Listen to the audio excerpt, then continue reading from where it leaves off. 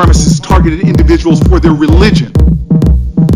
The commander in chief, in an Oval Office meeting, referring to people from African countries and Haitians with the most vile and vulgar language.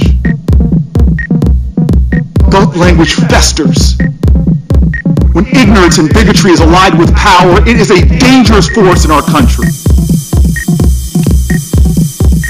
Your silence and your amnesia is complicity. Right now in our nation, we have a problem. I don't know if 73% of your time is spent on white supremacist hate groups.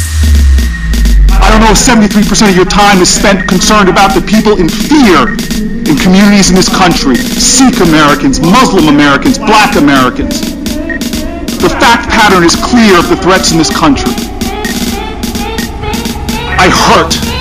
When Dick Durbin called me, I had tears of rage when I heard about this experience in that meeting. And for you not to feel that pain, hurt, and that pain, and to dismiss some of the questions of my colleagues, saying I've already answered that line of questions when tens of millions of Americans are hurting right now because of what they're worried about what happened in the White House.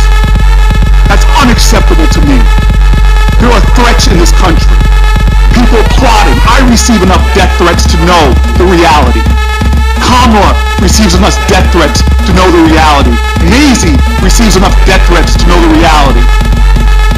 And I've got a president of the United States whose office I respect, who talks about the country's origins of my fellow citizens in the most despicable of manner. You don't remember. You can't remember the words of your uh, commander-in-chief. I find that unacceptable. Mr. Chairman, I'm grateful to be on this committee. I'm more than ever today happy I am here. Thank you.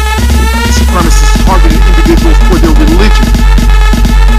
The commander-in-chief, in an Oval Office meeting, referring to people from African countries and Haitians with the most vile and vulgar language.